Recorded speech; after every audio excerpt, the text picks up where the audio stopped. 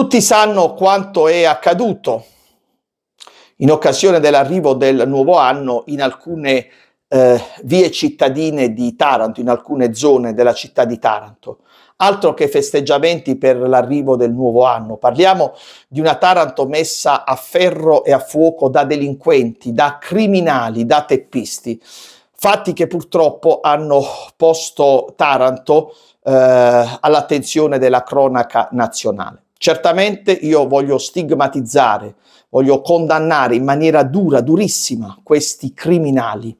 Occorrono pene esemplari, atroci, tra virgolette, nei loro confronti, senza nessuno sconto. Pene drastiche, draconiane, per persone che non meriterebbero proprio di vivere, per persone che non meriterebbero proprio di esistere. Questa è la verità.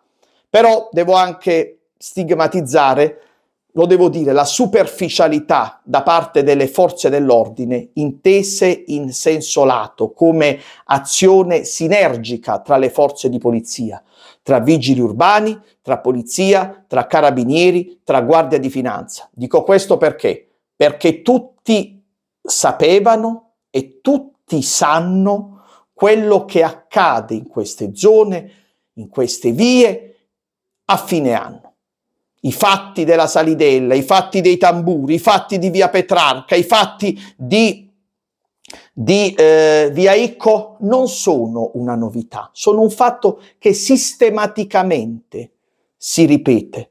E allora veramente sarebbe stato necessario presidiare in modo militare quelle zone, in modo militare, e qui non venitemi a parlare di stato di polizia o quant'altro, di fascismo, assolutamente no. Qui si tratta soltanto di far rispettare la legge, di assicurare la, di garantire la sicurezza, la pubblica incolumità al cittadino. Taranto per questi teppisti non si può presentare in uno stato di guerra, di guerra urbana. Pazzesco quello che è accaduto. Pazzesco, pazzesco sembravano immagini del Medio Oriente. E allora io dico, voi forze di polizia, non sapevate che queste cose accadono e accadono da decenni? E cosa avete fatto per prevenire? Poco o nulla, poco o nulla, lo devo dire, perché io non ho peli sulla lingua. Lì doveva essere, pre- quelle zone dovevano essere presidiate, presidiate. Ci volevano le camionette in quella zona. Perché quando accadono certi, certi fatti, lo Stato si deve, far, deve essere presente, la legge deve essere presente, le istituzioni devono essere presenti. E le istituzioni erano completamente assenti, fermo restando la condanna gravissima, le pene drastiche devono, che devono essere irrogate nei confronti di questi criminali. Ma devo dire che le forze di polizia in senso lato sono state, sono state molto superficiali, molto carenti, assolutamente inefficaci e inadeguate. E lo dico apertamente.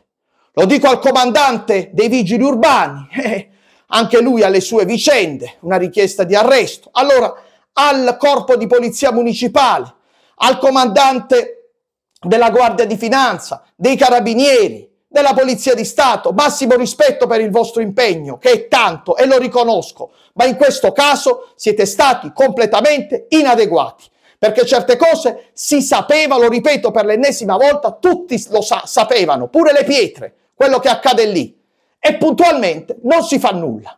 Bene, queste cose dovevo dirle perché queste immagini veramente mi indignano. Da un lato vediamo la bestialità di certe persone, dall'altro dobbiamo anche vedere l'inefficienza, scusatemi se lo dico, ma in questo caso specifico lo devo dire, l'inefficienza delle forze di polizia.